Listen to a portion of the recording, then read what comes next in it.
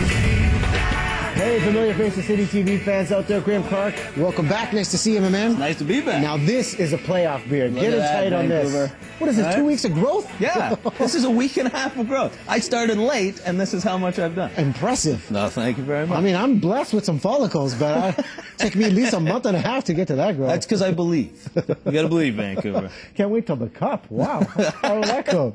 Uh, so you're back. You know, we're doing the comedy circuit. Well, Mm-hmm. we, had, we had a great comedy show this past week. We both watched Nightmare on Elm Street.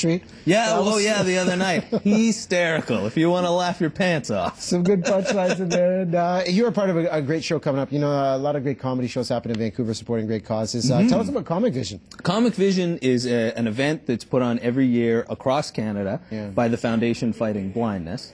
Uh, it was originally this uh, event was started by a lady named Meg Soper, who's a comedian that now lives out east, but was uh, born and raised here in Vancouver. Yeah. And uh, originally, the lineup was supposed to have a very good friend of mine, Erwin Barker, but he wasn't able to do the show here and in Calgary, so I stepped in in his stead. Yeah. And I'm going to be joining uh, headliner Jebb Fink and MC Lawrence Morgenstern, who's kind of a legend of Canadian comedy. So it's going to be a great show. It's for a great cause. There's going to be uh, fundraiser games during the show.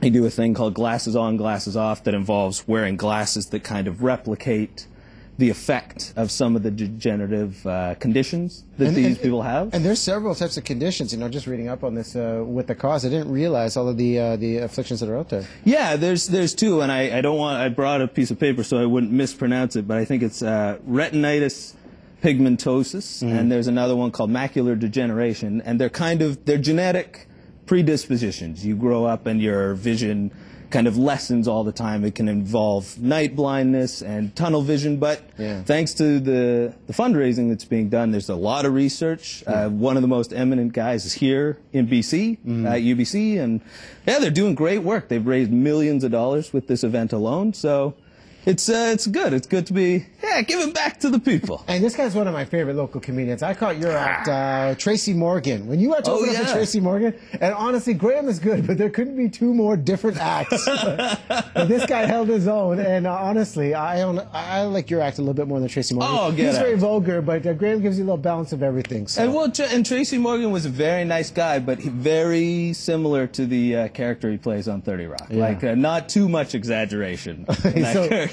So this event's going on in River Rock uh, next week. We've got details coming up on screen. And here's the cool thing. Not only are you going to be on stage with these great comedians, we've got Kyle Donaldson. That's right. And Sean McDermott on stage. They're doing the glasses on, glasses off.